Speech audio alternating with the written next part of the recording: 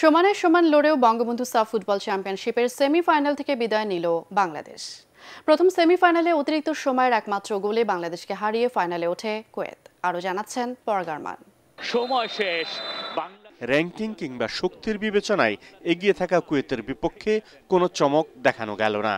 তাতে বঙ্গবন্ধু সাব ফুটবলের সেমিফাইনাল থেকেই ফিরতে হলো লাল সবুজের দলকে। অবশ্য গোলের প্রথম সুযোগটি পেয়েছিল বাংলাদেশি আগের দুই ম্যাচে গোল করা তরুণ ফরওয়ার্ড শেখ মোরসালিন কুয়েতের গোলকিপারের গায়ে মেরে অবিশ্বাস্যভাবে সেই সুযোগ মিস করেন। সময়ের সাথে সাথে আক্রমণের ধার বাড়ে কুয়েতের।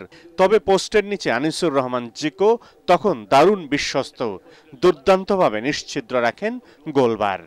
দ্বিতীয়ার্ধে নিজেদের রক্ষণ প্রাচীর সামলে আক্রমণে মনোযোগী হয় বাংলাদেশ।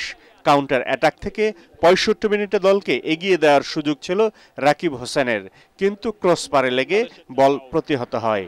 মধ্যপ্রাচ্যের দলটি এরপর আক্রমণের ফুলজুরি ফোটায় বাংলাদেশের সীমানায়, কিন্তু সাফল্য আসেনি খেলা গড়ায় অতিরিক্ত সময়ে।